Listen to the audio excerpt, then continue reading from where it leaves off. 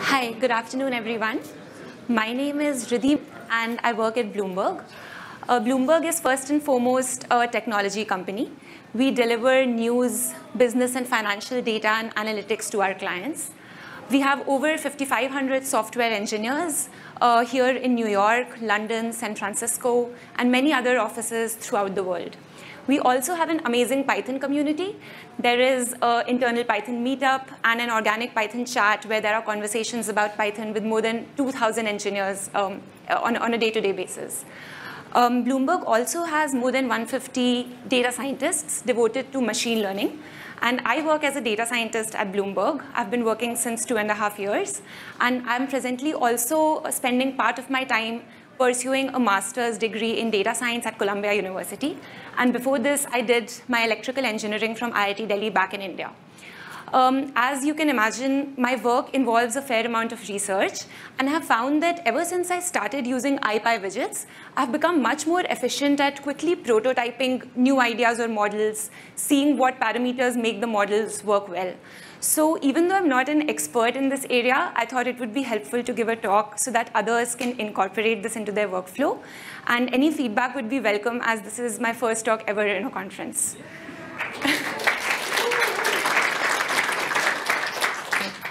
So um, to start with, we look at a simple World Bank data set. So here you can see that I have imported some utility functions which I wrote, which do things like plot the data, plot raw statistics for the data, and so on. So what does this data set look like? It basically provides us indicators for various countries of the world from 1960 to 2016. So the indicators are things like what percentage of the population had access to electricity, what is the adolescent rate, what is the birth rate, and so on and so forth.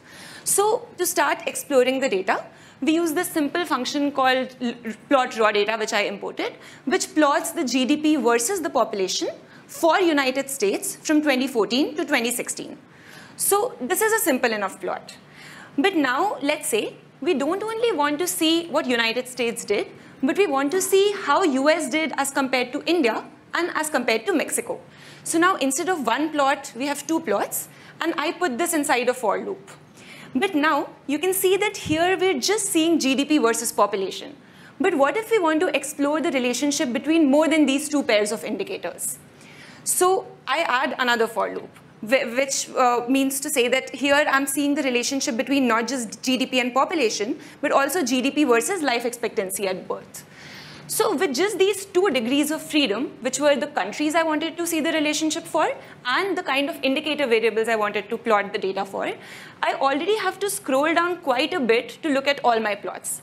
Now you can imagine that in the real world scenario where we have actual data and we want to do some analysis, there'll not be two degrees of freedom, but rather many more degrees of freedom. And that can lead to our data and the number of plots growing exponentially. So we do not want to loop through hundreds or thousands of PDFs to find the graph we're looking for, and we want to do something more interactive. So that's where widgets come into the picture. So what are widgets? Widgets are basically eventful Python objects that have a representation in a browser, often as a control like a text box, slider, etc. And widgets help us create interactive plots for our notebooks. So here I start with some basic logging setup. And to use widgets, all you need to do is import the uh, install and import the widely available library called IPyWidgets. And, uh, and uh, here I, you, you can see that I have imported some things like widgets, interact, interactive. And I'll talk about what each of these mean later in the talk. So to illustrate what the different kinds of widgets are, what I'll do is I'll move away from the World Bank example and go to a simple fish tank plotting function. And once we've seen how widgets can be used to make our fish tank interactive, I'll come back to the World Bank example and see what we've learned and how we can use widgets in that scenario. So here I have a simple function which plots a fish tank. So this takes in arguments from the user like what is the water level of the fish tank, what is the transparency, whether or not there is a starfish and a triggerfish in the fish tank, what are their coordinates, whether or not plants exist in that fish tank or not. So now if we wanted to change the water level of the fish tank, we would essentially have to do what? We'll go here, change the cell from 20, 30 to 20, and rerun the cell again, and then we have the new fish tank. But of course, we don't want to do this because that's why you're here. We want to do this interactively. So instead, let's create our very own first widget. So the first example I'll show you is that of the int slider. So the syntax is very simple. Widgets was uh, what I imported in the beginning from ipywidgets. So all you need to do is call widgets.intSlider. You can give it a value, minimum and maximum, and a custom description. And here, you, when you display it, you see that we have our first water level widget. So this can control the water level, which from a value of 0 to 40. Next, I use a float slider for my water transparency. And in this too, the syntax is similar. You have a value, a min-max, a description, and you also have a readout format where you can say that because this is a float, how many decimal places do I want to display for the user?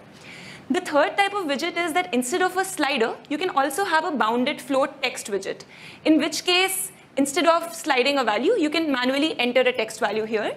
And ipywidgets also helpfully provides you with up and down arrows to control the type of this, uh, to control the value of this widget.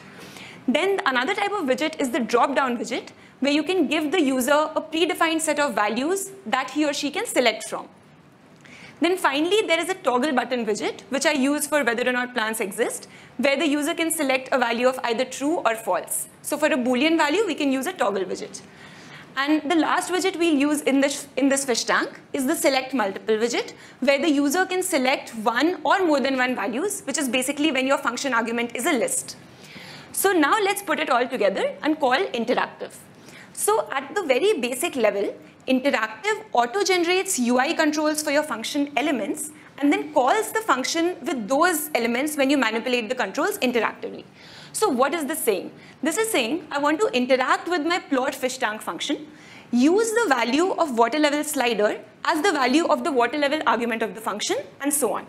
So whenever the user manipulates these values interactively, it will call the function again using that new set of values. So we call interactive, and now it's created this, these UI controls for us, and now we have this interactive fish tank. So changing the water level, we're changing it from 20 to 30. We don't need to rerun the cell again. We can change the water transparency.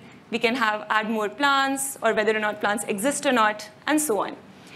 Now, some of you might have noticed that for the triggerfish Y, I did not actually give it a widget. I just gave it a tuple. So ipywidgets is smart. It will automatically create a widget for you. In this case, it will create an int slider with a minimum of 0, maximum of 40, and a step size of 5. And it will also helpfully name the, uh, the description of the widget for you as what the current value of the, like the current name of the function argument is. We can also link two widgets. So this kind of thing may be useful if, let's say, you're testing a model and you want to make two parameters the same, but you do not want to hard code that into, into the function. So you can do that using the widgets. So now the starfish and triggerfish x coordinates are linked using this JS link argument. So now whenever I change the starfish x coordinate, the triggerfish moves with it as well. Um, some of you might have also noticed that when I'm changing this, let's say I wanted to change the water level from 18 to 27. So it did change, but it changed in a continuous way. So behind the scenes, what's happening is ipywidgets is calling interactive at each point between 18 and 27. So this function is being called at 18, 19, all the way up to 27. So in this example, it does look kind of nice because you can imagine the fish tank flowing up or like having water in the fish tank fill up continuously. But you can imagine a scenario where this may easily become very bad for us in a slow function. So in a slow function, let's say you want to update a certain value from x to y. You do not want to have the slow function being computed at every point between x and y. So in order to avoid this behavior, ipywidgets provides us with a continuous update argument, which we can set to false for the, for the water level slider widget. And now if we call interactive with this new widget, it will restrict execution to when the user releases the mouse. So now I can change this water level, but nothing is changing because I still have the mouse like not released. And as soon as I release it, then the, the function will be computed again. So this can be useful when your function is very slow and you do not want it to auto update at each step. Now, uh, one more thing which we might want to do is we might want to change the entire set of arguments before we call the function again. Let's say our model has four parameters and we have one set versus another set which we want to test. So for that, continuous update won't work because that's only restricted to one particular widget. So in this case, instead of interactive, we can use the interact manual function. This will make the computation and interaction asynchronous. this function has the exact same syntax as interactive, but this will create a run interact button for you. So now you can run interact to display the function results as before. But now what you can do is you can change all these arguments and nothing is being computed because the user has not said that I want to run interact. Once you've changed all arguments, then you can click the run interact button and only then will the function be computed again. So this can be, again, useful for slow functions where you would want to change a set of arguments before rerunning the function again. So now that we've seen what these widgets are, let's go back to our original World Bank example and then see how we could have used widgets in that scenario. So the, uh, so the first thing we need obviously is like two drop-down widgets for the two indicator variables which we want to plot. Then the next is a select multiple widget because we want to be able to plot the same indicator variable pair for more than one country. Um, then I have a int widget and a bounded int slider widget for the minimum and maximum years we want to plot the data for. And finally, with these four widgets, I now call interactive. So now you can see that let's say we wanted to also add India to this list. So I can just add India and then this new plot is updated. So instead of having to scroll through hundreds or thousands of PDFs, now we have this nice interactive user interface, which we can use to see the results change instantaneously. Um, you might also have noticed that sometimes we have some function arguments, but we do not want to interact with all of them. So one way to get around that would be to change or rewrite your function so that you don't expose that argument anymore. But another way to do that, which is probably a better way in my opinion, is to use the fixed argument. So what this tells interactive is, I do want to interact with my plot raw data function, but I do not want to interact with the country names list. Let that be fixed. So then it will not automatically create a widget for you. And the only widgets created will be for the, these four other arguments, which you can again play around with. Uh, there is also a way to access the current function arguments. For that, all you need to do is uh, the results of interactive, you have to assign it to a variable. Here I call it w. And then w.kwargs will basically show you what, whatever the current values of the widget were. So if you noticed, uh, I had added India to the list, and now kwargs will tell you that the user has actually added another argument to that list. So this can be useful if there is a later part of your notebook, which depends on what the user does in the previous portion. So this can allow you to programmatically access what the user has done. So now that we've seen these examples, I'll quickly run you through two internal examples which, uh, which my team has been using widgets for. So the first example is that of the next day trade error. So as I told you in the beginning, my team prices fixed income securities. So uh, basically what we do is, um, why is pricing fixed income securities hard?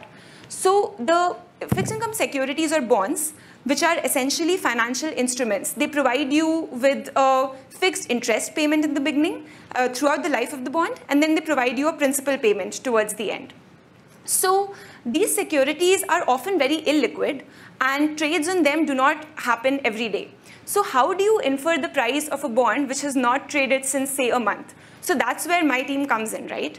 And uh, we want to be able to see how well our models are doing. So one way to judge that is through the next day trade error. So what that says is if a bond was priced today at X dollars and tomorrow it trades at Y dollars, how close is X to Y? So we want to be able to see this for various segments. For example, we, let's say we only want to see this for bonds which are maturing in the next five years. So we used to have these next day trade error charts, which used to show these kind of results for different segments of bonds. And the problem was that it was a set of static 60 rules. So whenever, let's say, we wanted to add another segment to the rule, we would have to hard code that particular rule and then rerun the uh, entire code again and then go to business with these new set of charts. So widgets have provided me with a way to not do that anymore and actually eliminate the bottleneck of business coming to us, us updating the rules, and then going back to them with this new set of charts. So whatever arguments we wanted to play around with, I've added those as function arguments to this dashboard. So I've created widgets for all of these. And now, if we want to see, let's say, what was the next day trade error chart for only AAA bonds. So I can just see, I can just select this and then see the output change instantaneously. So this is provided to be helpful for both us and business because now we can see what our models are doing without essentially having to code again or add more static rules to our code. The other example I wanted to show you is that of sector statistics. So sometimes we want to be able to compare what one set of bonds is doing with respect to another. So again for this, we want to, let's say, eliminate any trades with a minimum volume of less than $100,000 because we think they might be outliers. So once again, this used to us provide, this often led to us providing a lot of static code because we wanted to be able to sometimes say a minimum volume of 100,000 or at other times 250,000 and the same for a lot of other parameters. So I again created an interactive dashboard for this with just like a few lines of code for all these widgets, similar to what I showed you in the fish tank. And now we can see these outputs change instantaneously. So if I want to see minimum volume of 250,000, where earlier I, have, I would have had to go back to the code, change it, and rerun it, now I can just change this as a toggle button here, and then see my outputs change instantaneously. I've also added a plot confidence interval widget, and in this case, I haven't even coded a widget explicitly. I just gave it a default of true, and IPyWidgets has automatically created this widget for me, which is just, I just want to illustrate the point that oftentimes you don't even need to write code for a widget explicitly. So uh, I have added this so that we can see how confident we are in this data based on the number of data points here. So this is just saying we're not as confident in this bucket as we are in these two other buckets because it doesn't have as much data. And then if we want to see the results of what data points actually led us to producing this particular point, we can go down and then select from here, which actually shows us the trade movement versus the benchmark movement for different widgets. So here I have 310 versus 351. So we are seeing the actual data points which were used to run the regression and to plot the points here. One last thing which I want to illustrate is that of NB extensions. So um, this is a useful tool and uh, after you've installed NB extensions, it's pretty simple to do and set up. Then you get a fourth tab in your Jupyter Notebook tree. And here there are very, very useful extensions. Some of the, some of the ones I use most often are highlight selected word or code prettify. But the one I find most useful is hide input all. So this actually provides you with a eye-shaped symbol here, which you can just select to hide or show all of your code. So I write this code for the widgets, right? But before I give this to product managers, I often do not want them to see the Python behind the scenes because they're not interested in the code. They're just interested in the final output. So before I give them the code, I just hide this input and save the notebook and then give this URL to them. Um, we could also have used Voila if we wanted to be like more secure because here they can always unhide the code and see, see it. But in this case, our team hasn't needed to do this yet. But that, that's another option I could look at. So if there's one thing I would like all of you to take away from this talk, it is how easy it is to use widgets. Like we hardly wrote a few lines of code and changed our notebook from a static notebook to like an interactive notebook. So I hope that everyone who attends this talk starts using widgets and uh, go and hack away. Thank you.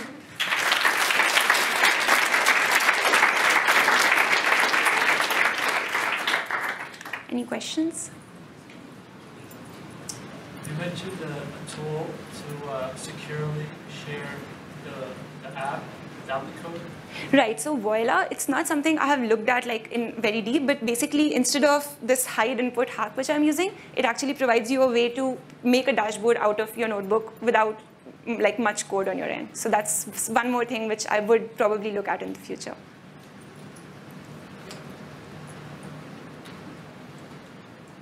Okay, thank you.